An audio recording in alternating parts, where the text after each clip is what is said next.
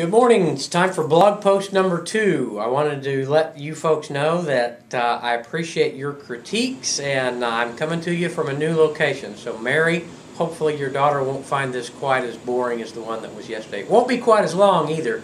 I've already learned one valuable lesson about blogging this morning.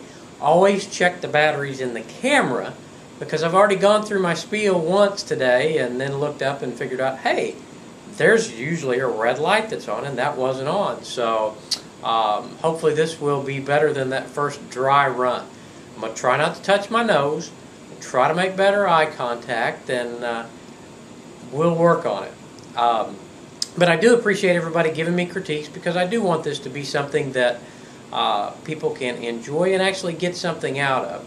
Obviously, as I said yesterday, I want to grow my business because that's good for the people that I work with. And so, um, if this is a means to do that, then I'm all for it. I do want to address one thing that, that kind of gave me the idea for this morning because I did have somebody email me, not on Facebook, uh, and basically say, Aren't you afraid that people are going to copycat you? Um, number one, that's a great uh, piece of flattery, you know, that, that somebody would look at what you're doing and think, Hey, I want to do that too. Um, in all honesty, I do that to lots of other agents. In fact, I pay a pretty hefty monthly fee to be coached by people outside of this marketplace that are doing things that are successful. So I'm not really worried about people stealing my stuff. It's kind of like uh, uh, I can't market in a vacuum, and so if somebody sees something I'm doing right now and says, "Oh, hey, I want to copy that," um, well, you know, good for me, good for them. Hopefully, good for their clients as well, because it must be something that they think is is effective.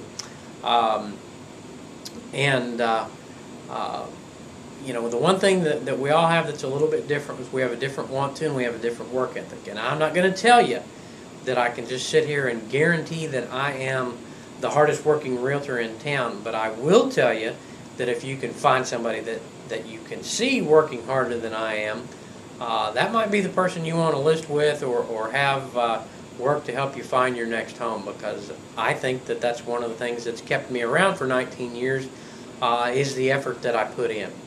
Uh, we're going to be short this morning. I do want to thank you for looking at the video yesterday. Hopefully you'll do this today and if you can do me one favor, please share this with people. You know, when you see this on Facebook, click the like button. Follow me on Twitter. You can find me at Realtor Tate.